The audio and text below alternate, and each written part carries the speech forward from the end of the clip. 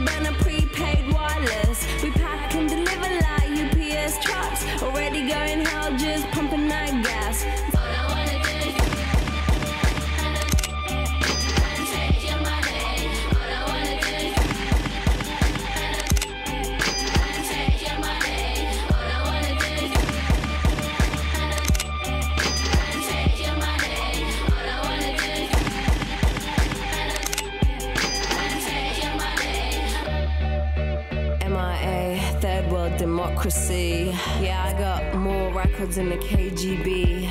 So, uh, no funny business.